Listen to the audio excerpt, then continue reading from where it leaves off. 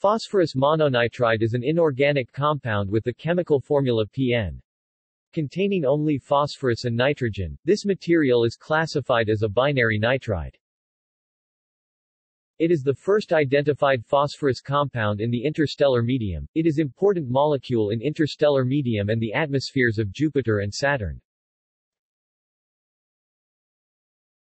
See also